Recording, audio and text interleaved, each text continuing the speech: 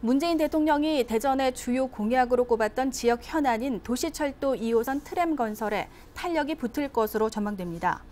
대전 도시철도 2호선 트램 건설은 민선 6기 대전시 역점 과제로 문재인 대통령이 조기 착공 지원을 지역 공약으로 내세웠습니다.